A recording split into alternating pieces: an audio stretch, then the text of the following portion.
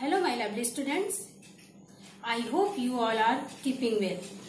बच्चों आज मैं आपको चैप्टर से रिलेटेड नहीं बताना चाहूँगी आज मैं आपको हिंदी व्याकरण बताऊँगी ओके आओ बैठो कर लो बात हंस लो गालो लिख लो साथ कथा कहानी मन की बात भाषा देती सब में साथ आज टॉपिक छोटा है, लेकिन बहुत ही इंटरेस्टिंग है।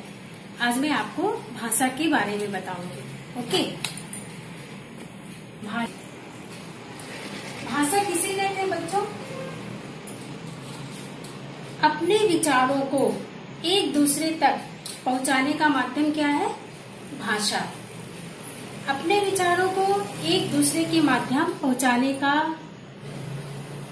मार्ग या माध्यम भाषा कहलाता है है ना? भाषा की परिभाषा क्या हुई? अपने विचार एक दूसरे तक पहुँचाने के माध्यम को हम भाषा कहते हैं। मैं यहाँ परिभाषा लिख दे रही हूँ।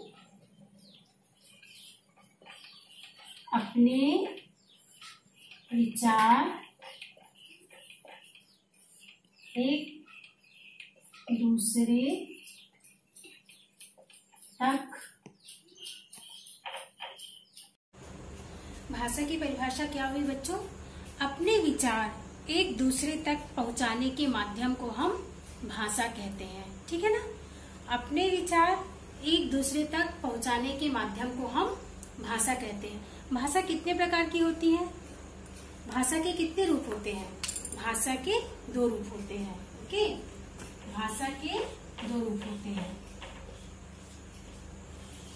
पहली जो होती है मौखिक भाषा पहली जो होती है बच्चों, मौखिक भाषा, दूसरी होती है लिखित भाषा। लिखित भाषा। ओके?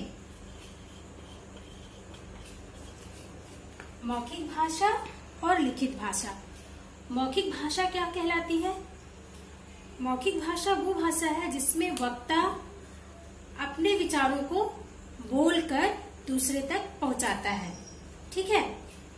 मौखिक भाषा कौन सी भाषा, कौन सी भाषा कहलाई? जिसमें वक्ता अपने विचारों को बोलकर दूसरे तक पहुंचाता, ये कौन सी कहलाई?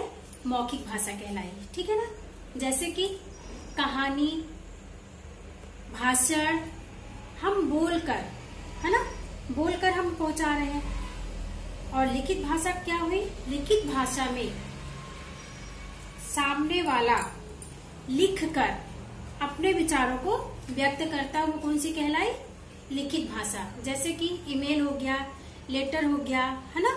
ये सब इसके उदाहरण है, ठीक है? अच्छा मौखिक और लिखित भाषा। अच्छा बच्चों, आप क्या जानते हैं ब्रेल लिपि क्या होती है? ये सांकेतिक भाषा, जिसमें हम इशारों से, चिन्हों से, जो अंधे लोग होते हैं, उनको पढ़ाने के लिए ब्रेल लिपि तकनीक का उपयोग किया जाता है, ठीक है?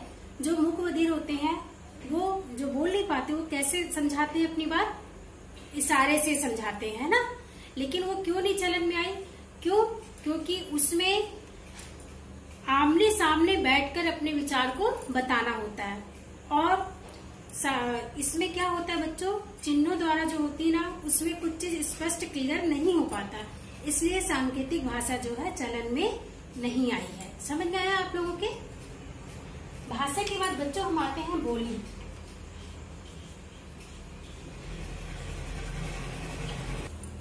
अब हम बोली पढ़ेंगे, ठीक है?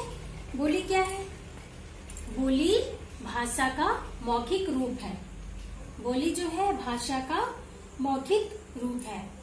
जब कोई भाषा किसी सीमित क्षेत्र में बोलचाल के रूप में बोली जाती है तो वो क्या कहलाती है? बोली कहलाती है। ठीक है? बोली क्या है? बोली मौखिक भाषा का ही रूप है। जब कोई भाषा सीमित क्षेत्र में बोलचाल के रूप में बोली जाती है, उसे हम क्या कहते हैं? बोली कहते हैं। ठीक है ना? जैसे कि हरियाणा में रहने वाला हरियाणवी बोली बोलेगा, छत्तीसगढ़ में रहने वाला छत्तीसगढ़ी बोलेगा पंजाब में रहने वाला पंजाबी बोलेगा, ये क्या हुई है बच्चों? ये हुई हमारी बोली। अब हम बोली के बाद किसमें आ जाए? मात्र भाषा। मातृभाषा किसे कहते हैं? बच्चा, जो भाषा सबसे पहले अपने घर से सीखता सीखता है, उसे हम क्या बोलते हैं? मातृभाषा। कैसे? पंजाबी घर में पैदा हुआ पैदा हुआ बच्चा पंजाबी भाषा बोलेगा। बंगाली फैमिली में पैदा हुआ बच्चा बंगाली भाषा बोलेगा, है ना? ये क्या हुई हमारी? मातृभाषा, जो हम अपने घर परिवार से ही सीखते हैं। समझ में आया मातृभाषा क्या होती है? फिर अब हम पढ़ेंगे राजभाषा। राजकीय काम काज में उपयोग होने वाली भाषा को क्या बोलते हैं? राजभाषा, ठीक है? इसके बाद राजभाषा, है ना?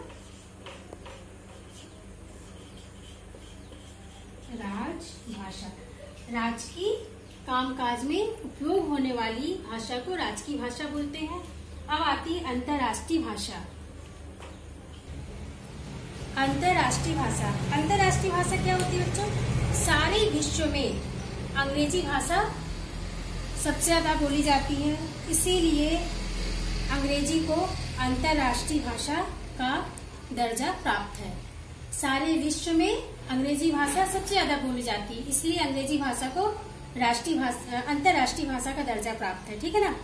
हमारे भारत देश में बहुत सारी भाषाएँ बोली जाती है। उनमें से जैसे देखिए हिंदी हो गया बंगाली हो गया कन्नड़ हो गया तमिल हो गया उड़िया हो गया मराठी हो गया बहुत सारी भाषाएँ हैं है ना?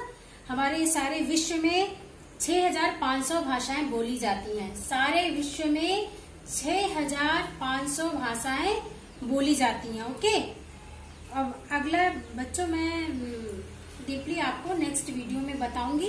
यहाँ तक आप अच्छे से लर्न करेंगे और कॉपी हम्म, में नोट्स तैयार करेंगे ठीक है? ओके वैसे मैं आपको इसका सारा नोट्स पीडीएफ बनाकर सेंड कर दूँगी। ठीक है? Okay bye bye students have a